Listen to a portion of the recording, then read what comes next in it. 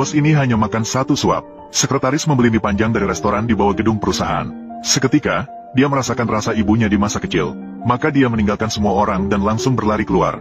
Namun di sisi lain, pemilik restoran mie dan putrinya sedang disiksa oleh sekelompok preman. Karena preman-preman ini ingin merobohkan rumahnya. Saat itu, wanita itu memberitahu mereka bahwa tidak peduli berapa banyak uang yang diberikan, rumah itu tiap suatu hari anaknya akan kembali dan menemukan rumah.